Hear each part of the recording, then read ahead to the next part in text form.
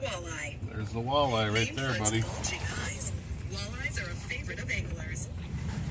The monster 16-foot walleye at Nature Illuminated would surely be a keeper. Although it's tough to beat a loon's mysterious call, a pack of howling gray Some wolves, can send shivers of either delight or alarm, depending on who's listening. The northern forests of Minnesota bud? host the Yeah. largest population of gray wolves in the lower 48 states. Wolves are valuable members of a healthy ecosystem.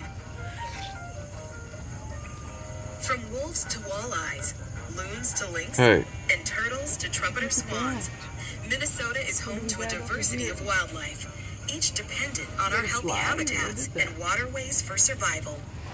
Keeping our 10,000 lakes healthy not only helps wildlife, but we benefit as well.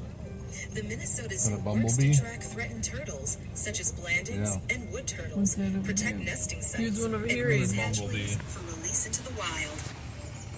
You can help Minnesota wildlife too by becoming salt smart when you clear snow and ice this winter. With a small effort, we can protect our state's most valuable I natural think that's resource, all. That's it. water.